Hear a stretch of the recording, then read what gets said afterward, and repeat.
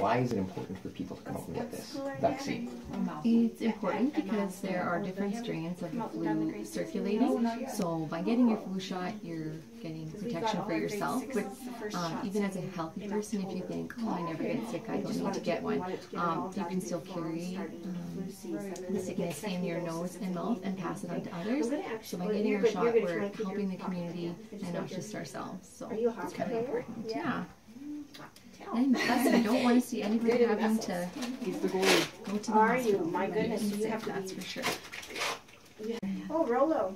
I grew up in Rouleau. You did? So yeah, so Uh-huh, just And I relax have, your well, my shoulder, hockey and that's player the thing. families are all a Perfect. little bit older, but my one brother lives in, in, um, Wilcox, so his kids, all- his boys played hockey. You're good Alright, like take a that, deep okay, in. just, yeah, I just want it to be blow it as out. soft, not like a rock, but like a marshmallow. Perfect. Yeah, I grew up in Rouleau, had lots of family in Milestone, just take a breath in if you like. There we go, just a little poke there. Shouldn't be anything. And that's all there to good. Perfect.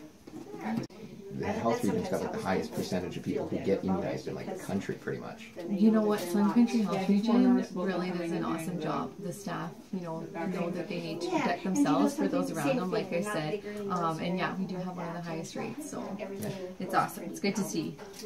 And so then there's no real, there's no side effects, just maybe a little sore tenderness for the few minutes afterwards type Um, thing. Pretty much, yeah. A little bit sore, might be for a day or two. what's Might be feel a little bit tired for a day or two. I've always been Um, honest that's with my kind of the main thing. Um, with Yeah. kids, might see a little bit of a fever, we're but doing this because nothing too mom Nothing cares too and we out of want the you to be healthy. ordinary. Yeah. Okay, That's right. perfect. Awesome. So I'll get you to wait for 15 minutes, and if you have My any husband and I lived, and our um, boys lived in a major allergic reactions, it would happen in that time. years. Okay. After that, you're good to go. boys were born Sounds perfect. Thanks for coming in.